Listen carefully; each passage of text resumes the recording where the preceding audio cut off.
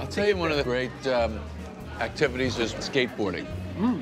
To learn to do a skateboard trick. How many times you got to get something wrong until you get it right? And you keep falling and you hurt yourself. and you hurt yourself, and you learn to do that trick, now you got a life lesson. Whenever I see those skateboard kids, I think those kids will be all right. Yes.